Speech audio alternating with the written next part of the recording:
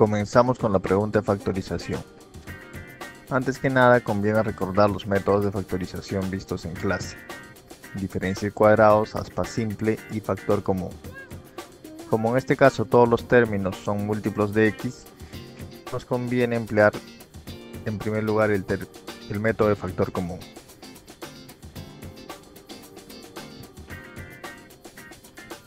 Para ello, notamos que todos son múltiplos de x, podemos factorizar x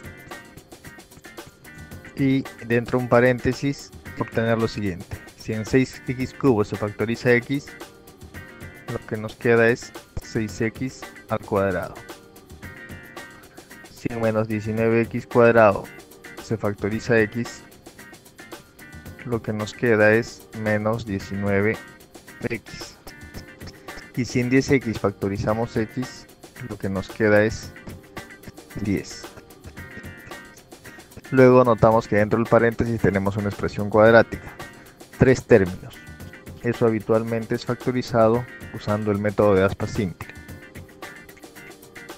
Necesitamos probar 6x cuadrado como producto de qué factores debe ser escrito y 10 como producto de qué factores tiene que ser escrito para conseguir la factorización adecuada.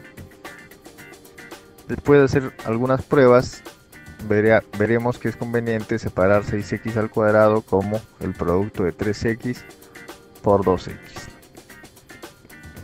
10 podría ser separado como el producto de dos positivos, pero si tenemos un negativo al centro nos conviene utilizar dos negativos de todas las opciones posibles, la que nos conviene es escribir a 10 como menos 2 multiplicado por menos 5. Menos por menos me da más, entonces la factorización es correcta. Si ahora multiplicamos en aspa para verificar nuestro proceso, tendremos 2x que multiplica menos 2 esto me da un producto de menos 4x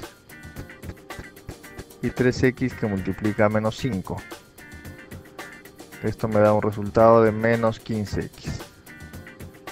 si sumamos menos 4x y menos 15x obtenemos menos 19x esto debe coincidir con el término central.